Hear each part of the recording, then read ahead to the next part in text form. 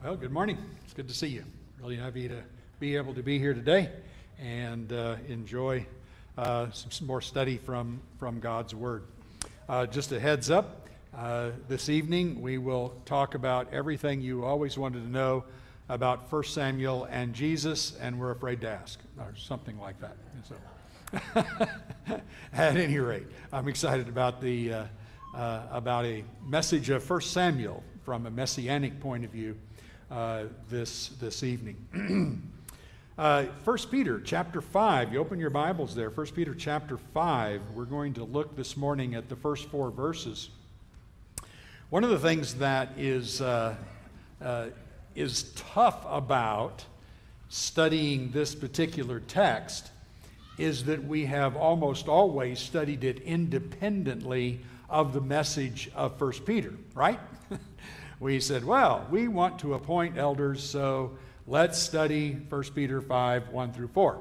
And we will learn about what we need to do. Actually, we usually don't do that. We just say, forget that. Let's just study 1 Timothy and Titus, and we got this. Uh, huge mistake, right? not what we want to do. Anyway, this particular text is not just thrown in here. And that's what we need to start with. We need to start with saying and asking ourselves the question why does Peter seemingly suddenly, in the midst of preparing his audience for trials and for suffering, why does he suddenly go, Oh, let me tell you about elders? uh, no, there's a connection here, and that's what we want to especially pay attention to. You will notice uh, in fact, let's just read 1 through 4, since I, I had Anand read for us Ezekiel instead. Let's read 1 through 4. So I exhort the elders among you as fellow as a fellow elder and a witness of the sufferings of Christ as well as a partaker in the glory that is going to be revealed. Shepherd the flock of God that is among you exercising oversight not under compulsion but willingly as God would have you not for shameful gain but eagerly not domineering over those in your charge, but being examples to the flock. And when the chief shepherd appears, you will receive the unfading crown of glory. In the ESV, I do want you to notice first off the word so. So, I exhort the elders. If you're reading the American Standard Version or the New American Standard Version, you would see him beginning with the word therefore. Ah, that really highlights it better, doesn't it? So he comes to the end of chapter 4, and then he suddenly goes, Therefore. Therefore what? Well, therefore, go back to verse 19. Let those who suffer according to God's will entrust their souls to the faithful Creator while doing good. There is a fiery trial coming back in chapter uh, 4 and verse 12. Don't be surprised when this fiery trial comes. So, because this fiery trial comes, is coming, and is in the future here, therefore, shepherds. I want shepherds to be prepared. And so, a special note that he's giving remember, 1 Peter is written to many, many, many churches that are spread across the northern Asia Minor area. And so he's giving this, and there'll be elders in all these churches. And he says, I want the shepherds then to pay careful attention to what I'm about to tell you based on the fiery trials that are about to come. With that, we study this not just simply, well, what do we need in elders or shepherds? We study it from the point of view of trials and suffering that are common, obviously, and he's told us this throughout 1 Peter, are common among Christians. In fact, it is to be expected. It is not to be a surprise when these things come upon us, and we've spent quite a while looking at that. Let's make a few initial observations here and just look at some, some key words and phrases that we see in this little section here so that we can become acquainted with the things that we need to talk about. Uh, first and foremost, notice there's a basis that Peter gives for his exhortation. And he gives three things about himself that is the basis for giving the shepherds this exhortation. The first is he says, I'm a fellow elder with you. I'm a fellow elder uh, with you. As a fellow elder, I'm giving you this exhortation. That immediately, I believe, makes us think of what Jesus told Peter three times back in John chapter 21. Remember that? When Peter had denied the Lord three times, and then Jesus uh, turns to him in this last uh, time before he was going to leave the earth and says, Peter, do you love me more than these? Um, I, I, just, uh, you know, uh, I, if I were uh, being a bit lighthearted with Jesus, uh, and uh, I'm not Peter, but I, if I were if I were just being, you know, I'm talking about later on, we get to heaven and, and uh, we're having a little discussion. I'd say that's the meanest thing you ever said. Boy, that is a tough. You know, Peter's low as he can be, and he goes, "You love me more than these." You had a big boast about it, you know, how you of all of them were never going to fall. You know, it's just embedded in all that. Tough situation and, and Peter humbly saying, Lord, you know I love you. Uh, and then again, he says three times, Tend my sheep, feed my sheep, feed my sheep. Isn't that surprising? We, we uh, sometimes look for elders that uh, uh never did anything wrong in their lives. any, any shepherd here want to stand up and say, Yeah, that's me. I never did anything wrong. Um, never made any major goofy things. Never, never really blew it. Uh, and yet, Peter did a major, major mess up here. And what did Jesus know about Peter? Now, some people would certainly have a major mess up and it would indicate itself as a weakness in their life repeated many times after, and then we would be worried, obviously. But in this particular case, Jesus understands that Peter has learned a valuable lesson. It has taken away all the arrogance that Peter ever thought of. It has taken away everything that Peter ever had that was jumping forward and saying, hey, you know, let me, uh, let's build three tents. you know, let's do this, let's do this. And, and uh, Lord, you're not going to suffer. And you see all these times in which Peter was jumping in and trying to be the great control guy. Uh, uh, all you Enneagram people, he was probably a one, right? He, he was just, he was going to do all that. Uh, but here Jesus recognizes that Peter has learned a major lesson, and Peter is going to use this experience to feed his sheep. You know, that's the kind of guy I want. When, when I have gone through my trials, you know who I seek out? You know who you seek out when you're going through your trials? Somebody who's been through something similar, don't you? Even if they failed, even if they had a hard time, even if they messed up, where do I go when I want to learn about how to deal with a very, very serious trial? I go learn from Job, even though Job messed up. Because Job can tell me where he messed up. And when you come to me about trials I've been through, I can tell you where I messed up. And I can give you a warning. I can help you through it and show you how to do it better than I did. And so the, Jesus knows that about Peter. He recognizes that. And that's a beautiful thing to see that Jesus recognizes this, this, this great um, pattern of coming out like pure gold that trials can do for us. And that's how Peter started this letter, remember? In chapter 1, he says, These trials are going to make you come out like pure gold.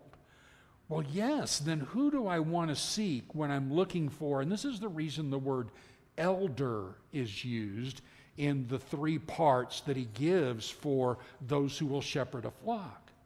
An elder is experienced, but not just experienced, but has learned from the experience. And they are the ones we want to sit down with and go, man, just tell me about it. My uh, first main first main elder I, I, worked under as a preacher, a man named Floyd Goff. His son uh, is still alive today in uh, uh in Mount Pleasant, uh, uh, Texas. good friend, and and Floyd was just amazing. I'd, I would, you know, as a 30 year old kid, I'd go over and sit down in Floyd's house and I'd go, Floyd, just talk. I mean, beautiful words of wisdom would just flow. I just, just talk. Floyd had been a farmer and, and, uh, and he, in Arkansas, and, uh, and he had come out to California and he delivered milk. He was just a down to earth, simple guy who could tell you everything about everything that had to do with anything in life. And he was honest and straightforward, and he was special. That's, that's, that, you know, you don't find those kinds of people very often, but his experience in life gave me so much that I lived on uh, all of my life and still do, just remembering his words. And that, that's a beautiful thing when Peter can say, I, who am a fellow elder, I have been through, as you know, you can just hear them thinking, yeah, boy, he has been through it, hasn't he? He has really been there and he has learned from it. And then he says also, a witness of the sufferings of Christ. Wow, how many people is are witnesses of the suffering of Christ that were actually followers of Jesus? And, and Peter says, yeah, I was there. I saw them beat him. I saw what they did to him. I saw all of those things. Yes, the implication you can read behind that is yes, I failed, but I saw it and I saw what he went through. And therefore, it was real to him, and he could prepare his mind better than anybody else to say, I need to prepare myself for that. Remember those last words in John 21? He said to Peter, The day's going to come where someone's going to bind you and take you where you do not want to go.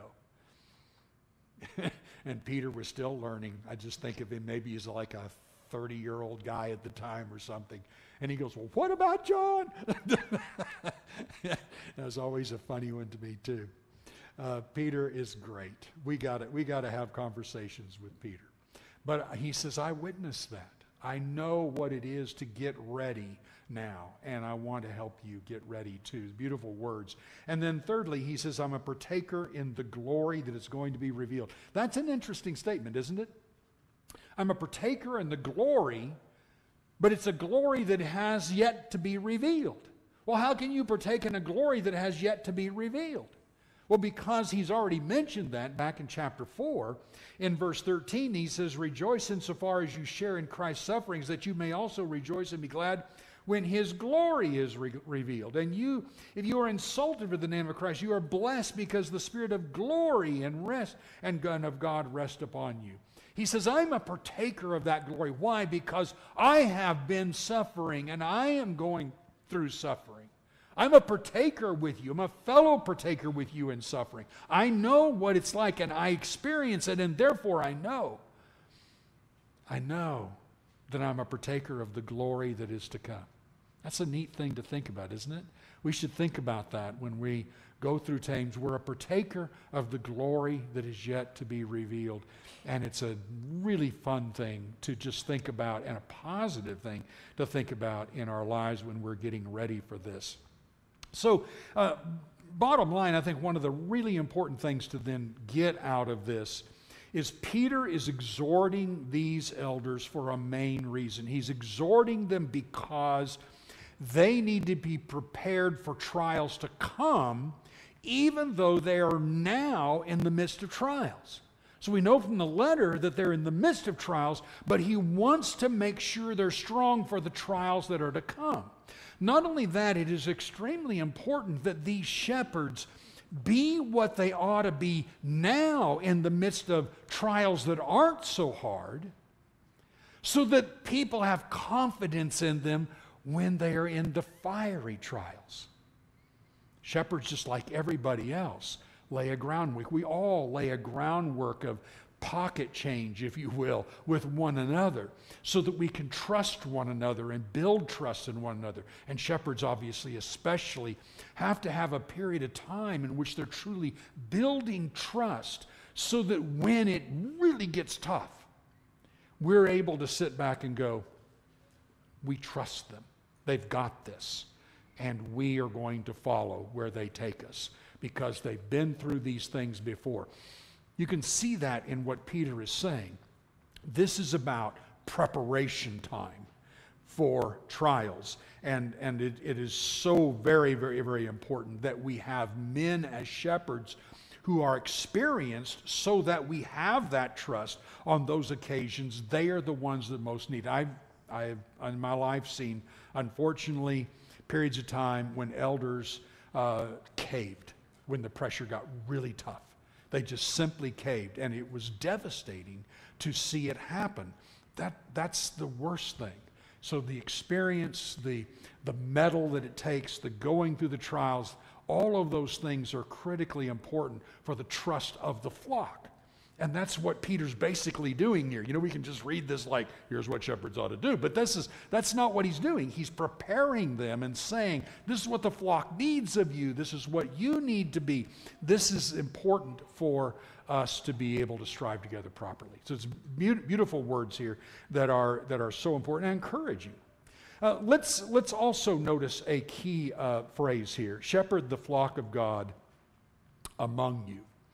And, and uh, uh I, don't, I don't obviously know how much Peter, uh, through inspiration, knew what was going to happen just really uh, not too many years after he died.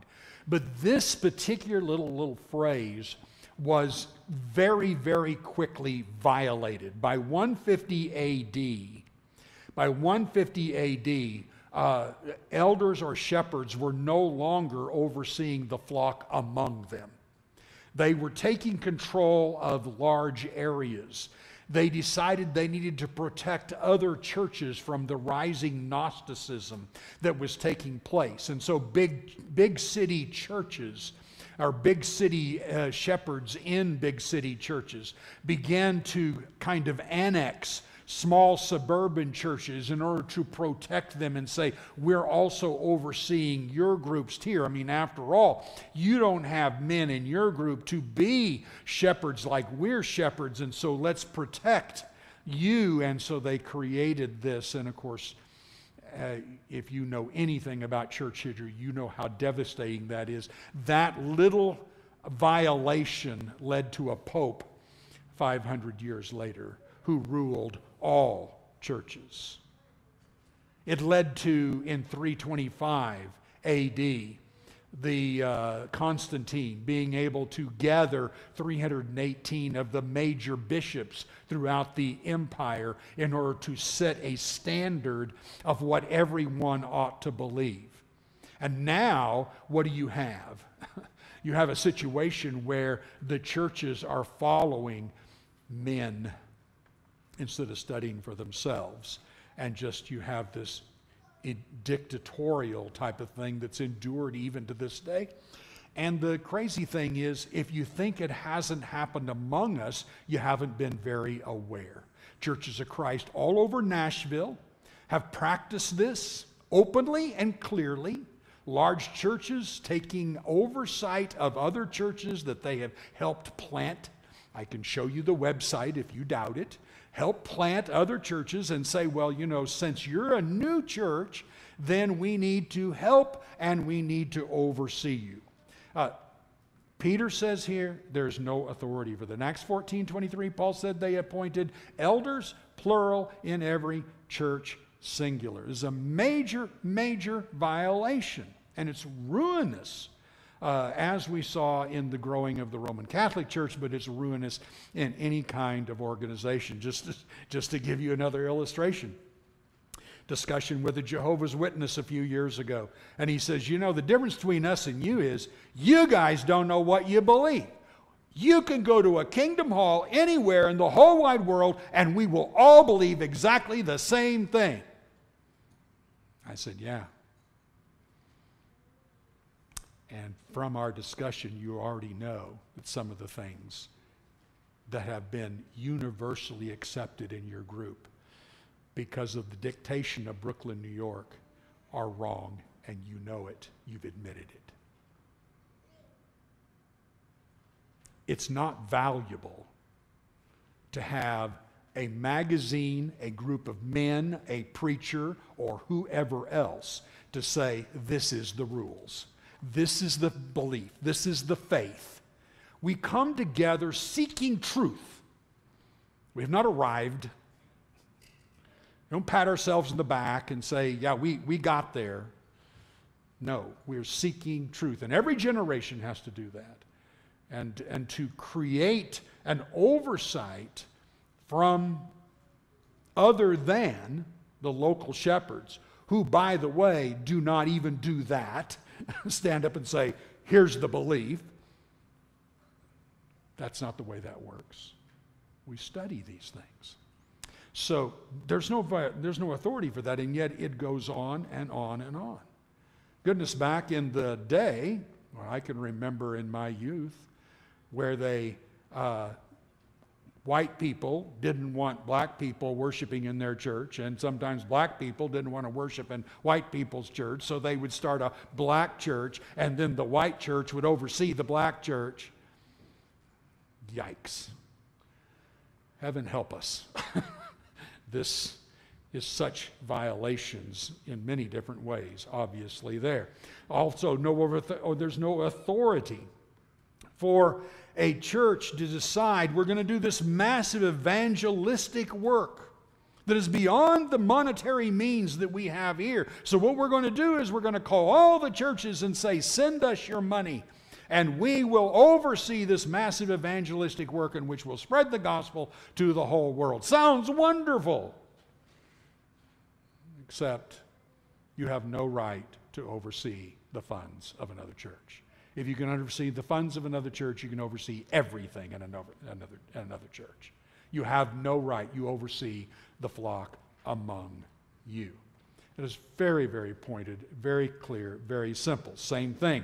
And there's no authority for a church to decide, you know, we want to sponsor a preacher, but we don't have enough money to send and support this preacher to do this work in wherever you want to send him. And therefore, we're going to ex- invite other church- churches to come and do this. Never forget having a conversation with a guy when I was in Fayetteville, Arkansas, and he says, Yeah, I'm seeking, uh, seeking, uh, a church to sponsor me while I go and preach the gospel in this foreign country. And I said, What do you mean, sponsor? I knew what he meant, but I wanted him to hear it. I hear it from him. Uh, what do you mean, sponsor you? Well, well, see, there'll be this church over here that will oversee me, but they will get funds from all kinds of churches so that they are, and then that makes me feel comfortable because I have oversight and because I don't have to worry about whether or not I'll lose support because they will sponsor me and you're going to get money from it so you just established your own Pope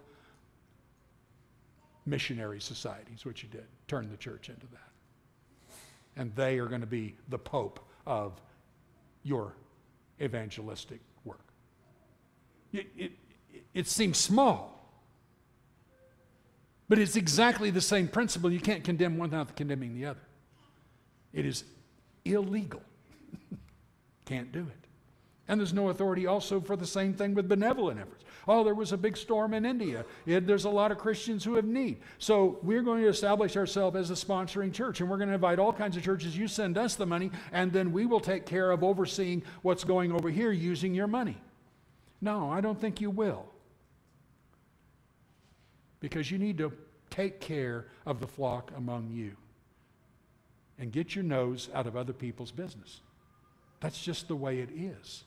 And this is the kind of thing, again, that is widespread. Be warned, be aware. This is not a minor issue. It ends up to be the greatest uh, error that was created in the second century. It started everything downhill. And it started just that little thing. We're going to defeat Gnosticism. Did they defeat it? Yeah, they crushed it and created a monster in so doing. Careful. God's way is the way. And it's just simple New Testament Christianity. That's what we have to worry about today. So, those are just important things to understand here. And I would say, furthermore, that there is an implied requirement here. There's an implied requirement that we are willing to submit ourselves to a local eldership, a local group of shepherds. common thing, still goes on today. People have, preachers have been yakking about it, elders have been yakking about it, members have been yakking about it for, for years and years and years about Christians who just want to be Christians at large. I don't want to be a part of any church. I don't want to be a member of any group. Where's it say I got to be a member? Right here, 1 Peter chapter 5. The implication is if shepherds are to oversee a flock, you have to be in the flock. That's not hard conclusion. It's very simple, but we need to be accountable to one another. And there's an expectation by the Lord that there will be this accountability and accountability not only to shepherds, but even to one another. And that's the way the scriptures teach it. That's why God established a church. That's why he has local churches. If it weren't for that, then why are we why are we even gathering? No, there's a work we do as a local group of people, even as there's a work we do individually. But there is a major work to be done as individuals. So there's groundwork that needs, needs to be laid there, and I think just simple applications that sometimes are not talked about and are important for us to consider. Now, let's look at Peter's exhortation here as we just have a few minutes more uh, to look at this. Look at Peter's exhortation in this.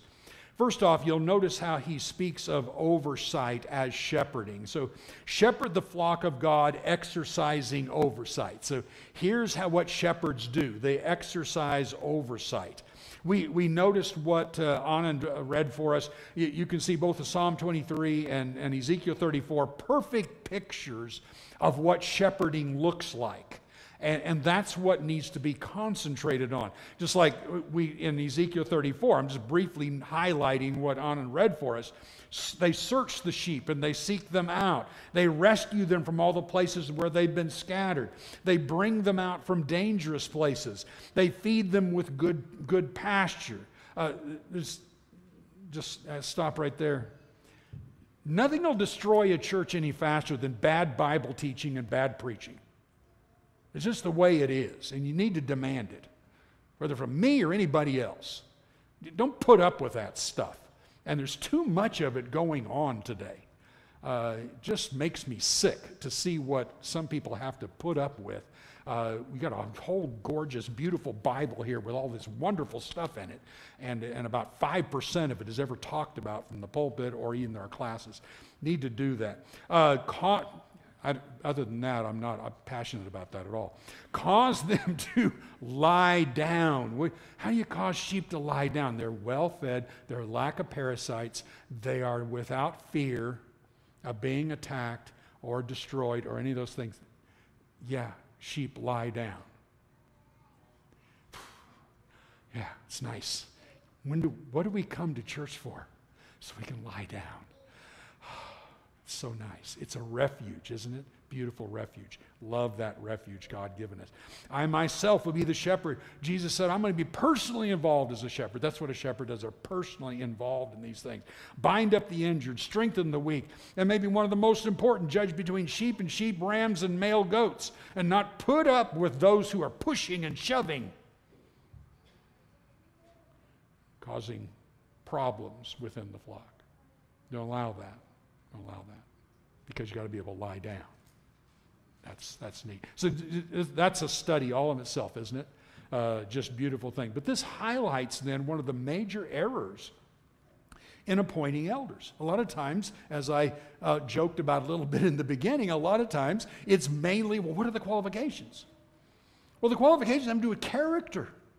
They don't have to do so much with the work that is to be done. These are the passages we need to pay more attention to. Uh, frankly, other than maybe the children issue, most of the men of this congregation could be an elder. We've got fine guys here, we have great guys here. But there is a work that needs to be learned in the three terms that are mentioned here being experienced, uh, being able to oversee, being able to shepherd. There's a, those are talents there that take work prior to the time you become a shepherd. Take work that all of those of you who are in your 20s, now's the time to work on this. Now's the time to do this. Take things that show us and show the church that you are shepherd like because you are already seeking and helping and going toward uh, being with people who need you. And that is uh, such a beautiful picture there. Shepherd the flock also shouts to the need of every single Christian. You know, we, um, we tend to uh, drift. Like Peter, like Hebrew writer said in Hebrews 2, we tend to drift and it's easy to drift because we just lose our moorings. We lose where we are in life. We're just, eh, we're just doing what's right in front of us. And pretty soon we're, we're starting to drift and we get involved in maybe in pleasures, not necessarily sinful things as we talked about this morning, but things that just catch our eye and catch our attention. And pretty soon we're swallowed up in that. And all of a sudden, all we're doing is church. And we're not really serving the Lord. And we're now we're vulnerable extremely vulnerable. that's where shepherds come in. But it's not just shepherds. Cause for the watchfulness of shepherds on those things, but it also calls all Christians to watch. And he's talked about that in First Peter. We've already discussed those passages. Hebrews 3:13, exhort one another daily while it is called today. There's a constant thing that we have to, unless we be hardened through the deceitfulness of, of sin. And then Peter gives these not but commands. You'll just notice this. This is this last section there in, uh, in the verse, verses 2 and 3.